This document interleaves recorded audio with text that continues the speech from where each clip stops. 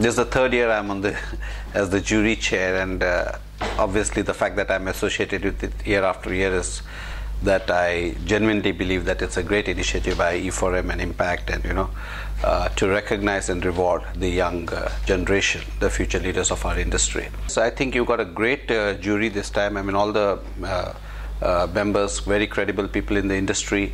Uh, so I think hopefully the top 30 will emerge